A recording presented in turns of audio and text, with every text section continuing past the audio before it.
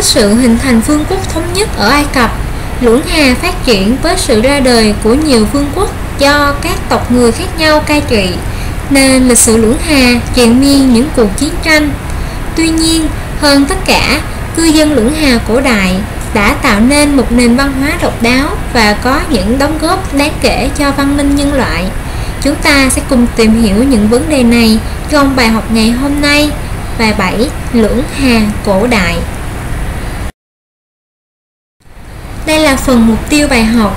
Khi các bạn học xong bài 7 Lưỡng Hà cổ đại, các bạn cần nắm được điều kiện tự nhiên của Lưỡng Hà cổ đại. Quá trình thành lập nhà nước Lưỡng Hà cổ đại và những thành tựu văn hóa tiêu biểu của cư dân Lưỡng Hà cổ đại. Bài này cũng sẽ gồm có ba La Mã. Trong tiết học ngày hôm nay, chúng ta sẽ cùng tìm hiểu hết tất cả nội dung của bài 7 nhé. Phần 1 La Mã, điều kiện tự nhiên. hai La Mã, quá trình thành lập nhà nước Lưỡng Hà cổ đại. ba La Mã, những thành tựu văn hóa tiêu biểu sẽ đến với phần một La Mã điều kiện tự nhiên nhé.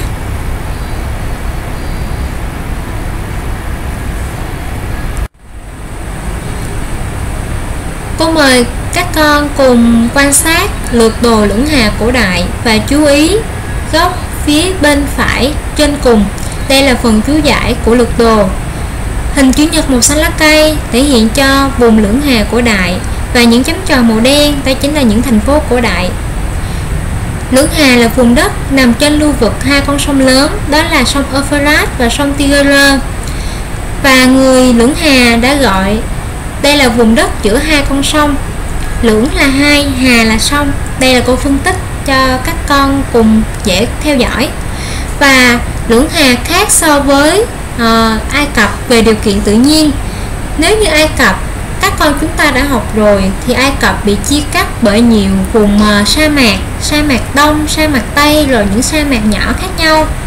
Thì Lưỡng Hà lại là một cái vùng đồng bằng rộng mở, bằng phẳng và không có biên giới thiên nhiên hiểm trở.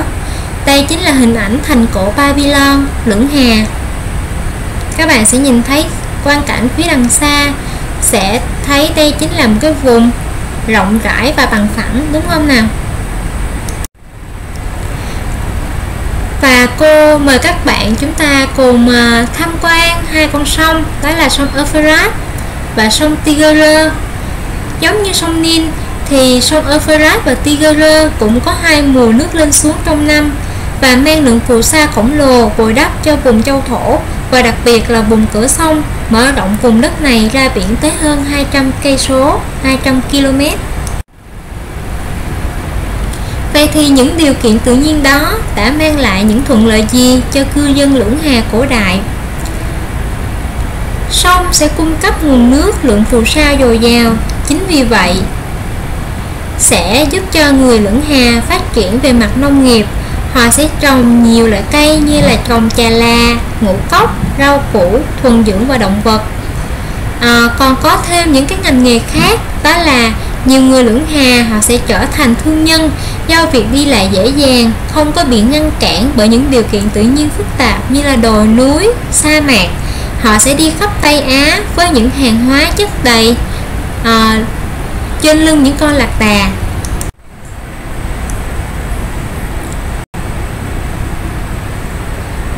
Cô mời các em cùng à, quan sát đặc sản của vùng à, lưỡng hà đó chính là cây chà là và quả chà là. Đây là hình ảnh uh, lạc đà những con vật chuyên chở hàng hóa trên những sa mạc khô cằn.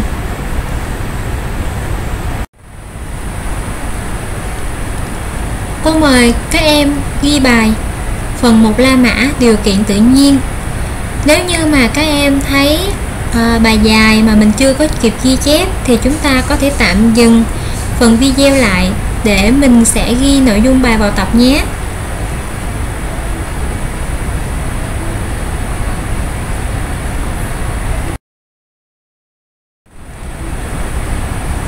Tiếp theo, cô mời các em cùng tìm hiểu phần 2 La Mã, quá trình thành lập nhà nước lưỡng hà cổ đại. Dựa vào trục thời gian hình thành nhà nước Lưỡng Hà cổ đại và thông tin trong sách giáo khoa, các em hãy hoàn thành cho cô niên biểu lịch sử theo mẫu sau. Đây chính là trục thời gian của nhà nước Lưỡng Hà cổ đại và đây chính là niên biểu theo mẫu mà cô yêu cầu các bạn chúng ta hoàn thành. Niên biểu của cô gồm có hai cột. Cột thứ nhất là các bạn sẽ ghi thời gian, cột thứ hai là các bạn sẽ ghi phần đế chế Cô lấy ví dụ, về thời gian 3.500 năm trước công nguyên, Đế chế chính là quốc gia thành thị của người Sumer. À các bạn chúng ta sẽ thấy có những đế chế nào. Mình sẽ ghi tóm tắt vào trong cái ô niên biểu này nhé.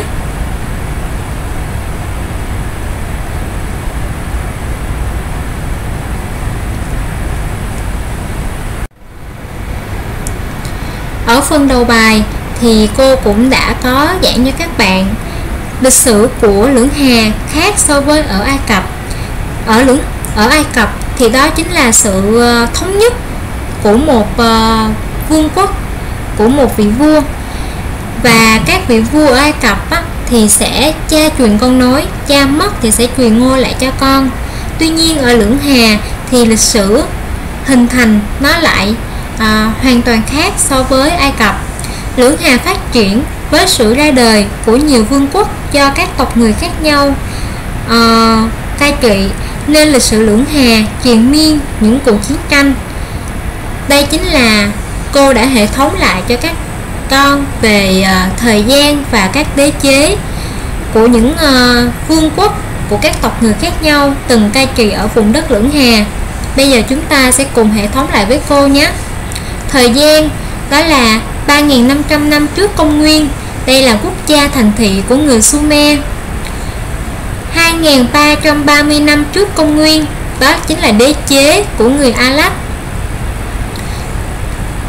Năm 1792 trước công nguyên, Đây chính là đế chế của người Babylon. Năm 1250 trước công nguyên, Đây chính là đế chế của người Assyria. Năm 626 trước công nguyên đế chế của người trên đây. Và năm 539 trước công nguyên, đây chính là giai đoạn mà người Ba Tư đã xâm chiếm lưỡng Hà. Các bạn sẽ thấy là có khá là nhiều đế chế đã từng cai trị ở vùng đất lưỡng Hà này, đúng không nào?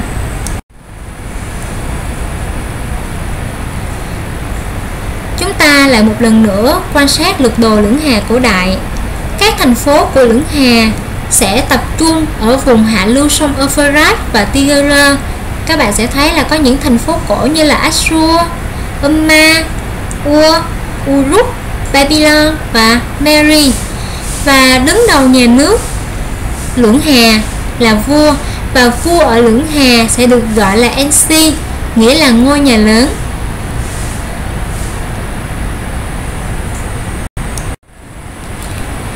mời các con cùng ghi bài phần 2 La Mã, Quá trình thành lập nhà nước lưỡng hà cổ đại.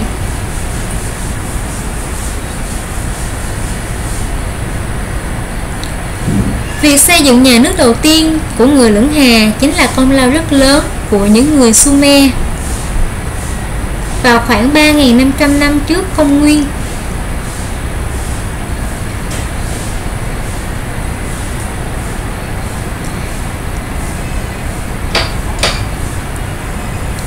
vậy thì chúng ta đã tìm hiểu phần 1 La Mã về điều kiện tự nhiên, phần 2 La Mã quá trình thành lập nhà nước lưỡng hà cổ đại rồi.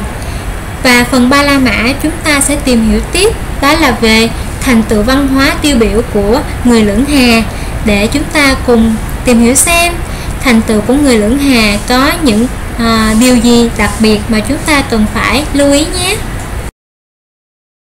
Phần 3 La Mã những thành tựu văn hóa tiêu biểu.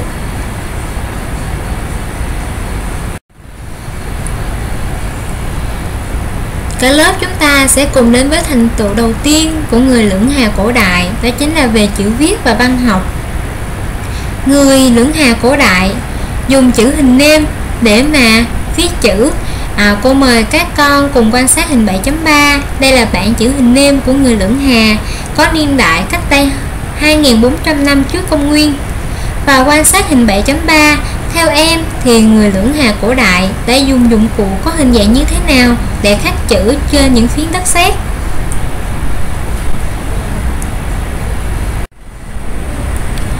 đây chính là bảng chữ hình nêm hay còn được gọi là hình gốc với hình ảnh như à, với hình ảnh chữ viết như thế này thì người lưỡng hà không thể dùng những cái đầu mềm như là viết lông để mà viết chữ được. Họ phải dùng những cái dụng cụ có đầu hình nhọn để khắc chữ viết có hình dạng giống như những chiếc đinh hay góc nhọn.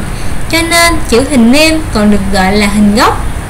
Và khác so với người Ai Cập các con còn nhớ là người Ai Cập họ dùng uh, nguyên liệu gì để mà viết chữ lên trên đó không? Họ dùng nguyên liệu gì để làm ra giấy? Đúng rồi, đó là giấy papyrus thì người lưỡng hà, họ sẽ dùng đất sét để khắc chữ viết trên đó. Đây chính là một đặc điểm rất là khác biệt của người lưỡng hà. Thành tựu tiếp theo của người lưỡng hà, đó chính là họ đã biết làm ra pháp luật. Cô mời các bạn cùng quan sát cho cô lời mở đầu của bộ luật Hammurabi được khắc trên bia đá. Thời kỳ vua Hammurabi ông đã làm ra một bộ luật. Chính vì vậy, bộ luật còn được gọi là bộ luật Hammurabi. Trẫm một vị vua quang minh và ngoan tạo, phát huy chính nghĩa ở đời, diệt trừ kẻ gian ác, không tuân theo luật pháp, làm cho kẻ mạnh không hà hiếp kẻ yếu. Vậy thì qua việc đọc tư liệu hình 7.4 em hãy cho biết vua Hammurabi ban hành bộ luật để làm gì?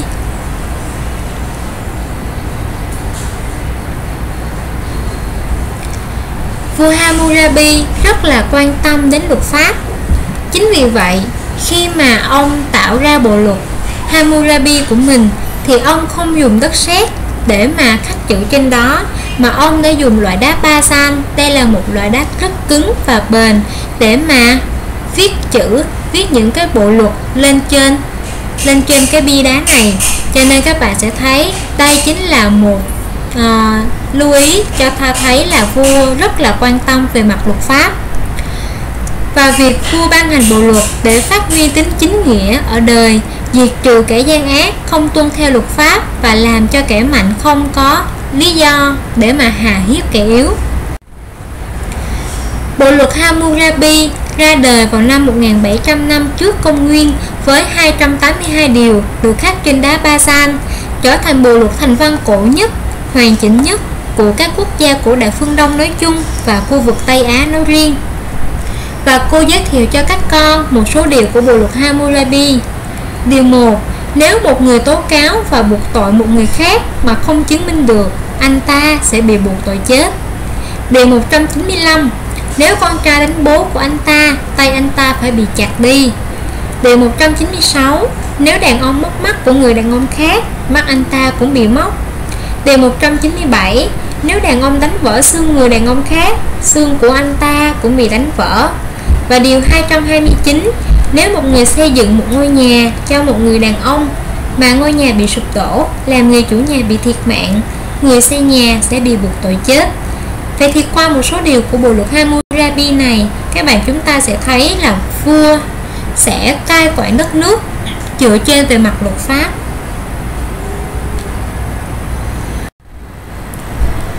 Tự thứ ba của người lưỡng hà cổ đại đó chính là về mặt toán học và thiên văn học.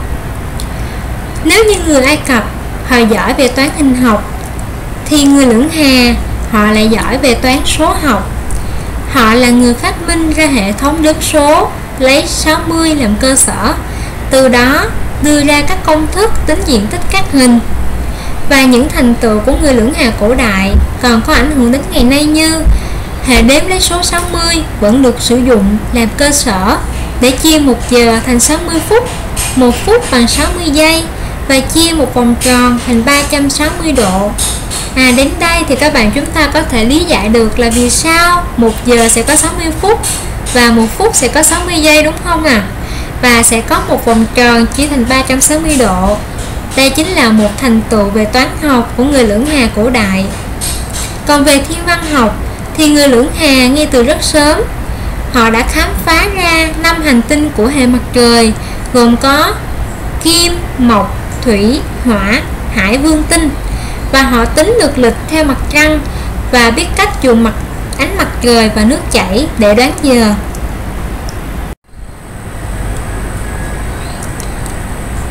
Cô mời cả lớp chúng ta đến với thành tựu cuối cùng của người Lưỡng Hà đó chính là về mặt kiến trúc và điêu khắc.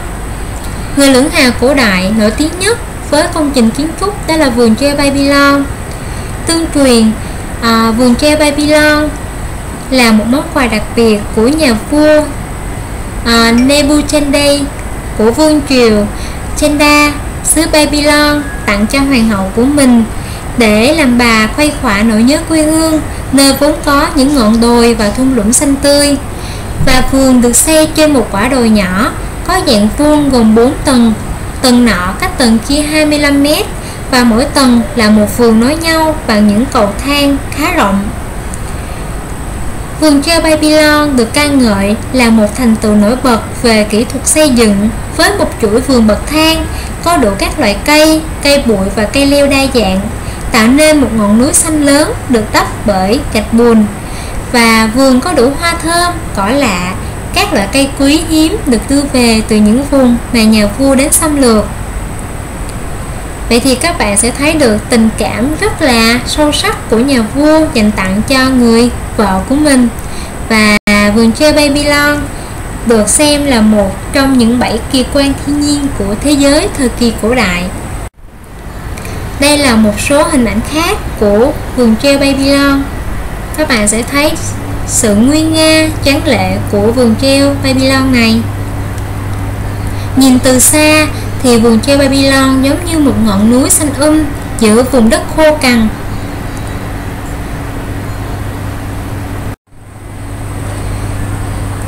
Và khác so với người Ai Cập thì người Lưỡng Hà họ không có đá để mà um, xây dựng. Chính vì vậy thì người Lưỡng Hà họ sẽ sử dụng gạch làm vật liệu xây dựng. Các bạn chúng ta cùng quan sát hình 7.5. Đây là hình ảnh sư tử gầm, được làm bằng gạch men. Ở cung điện vua Babylon, thế kỷ thứ 7 cô xin lỗi, thế kỷ thứ 6 trước công nguyên. Và hình 7.6 là một mặt của hộp gỗ thành Ua 2.500 năm tuổi, kiệt tác nghệ thuật lưỡng hà cổ đại, khắc họa cảnh chiến tranh và phần ghi bài của phần ba La Mã như sau. Các bạn chúng ta cùng nhanh chóng ghi bài vào trong tập nhé.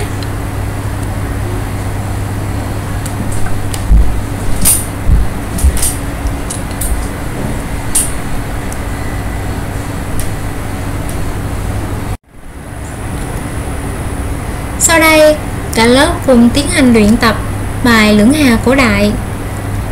Các con sẽ làm trắc nghiệm, chọn câu trả lời đúng nhất. Câu 1. Lưỡng hà cổ đại được hình thành trên lưu vực con sông nào? C. Sông tigris và Euphrates Câu 2 Người đứng đầu nhà nước ở Lưỡng Hà cổ đại là ai? Đó chính là NC Đáp án của cô là C Câu 3 Chữ viết của người Lưỡng Hà viết trên Đáp án đúng nhất chính là B. Đất sét Câu tiếp theo, Rất là đơn giản đúng không nào Câu 4 Công trình kiến trúc nổi tiếng nào của cư dân Lưỡng Hà được đánh giá là kỳ quan của thế giới cổ đại? Đó chính là B. Vườn treo Babylon Câu 5 Thành tựu nào sau đây của người lưỡng hà cổ đại còn sử dụng đến ngày nay? Câu trả lời của các con là gì? Đó chính là C. Hệ đếm 60 Những câu hỏi này rất là đơn giản, đúng không các con? Sau đây chúng ta sẽ qua cho cô Bài vận dụng Câu 1 Hãy kể tên những đồ vật xung quanh em, có ứng dụng thành tựu toán học của người lưỡng hà cổ đại. Bây giờ các con có thể quan sát xung quanh ngôi nhà của mình nào. Các con sẽ xem coi những cái đồ vật nào được ứng dụng thành tựu toán của người Anh, của người lưỡng hà. Theo sự quan sát của cô thì à, những thành tựu toán học của người lưỡng hà cổ đại được áp dụng như là có bánh xe, đồng hồ, đo thời gian đó các con cơm ba nè rồi la bàn cơ học nha. À, vậy thì khá là nhiều đúng không? Câu 2 cũng là một câu vẽ sơ đồ tư duy cô muốn cho các con luyện tập nhiều hơn về việc vẽ sơ đồ tư duy. Và bài lưỡng hà thì các con sẽ vẽ sơ đồ tư duy về các thành tựu văn hóa tiêu biểu của người lưỡng hà đóng góp cho văn minh nhân loại. Và cô có vẽ một cái sơ đồ mẫu như sau. Các con có thể tham khảo.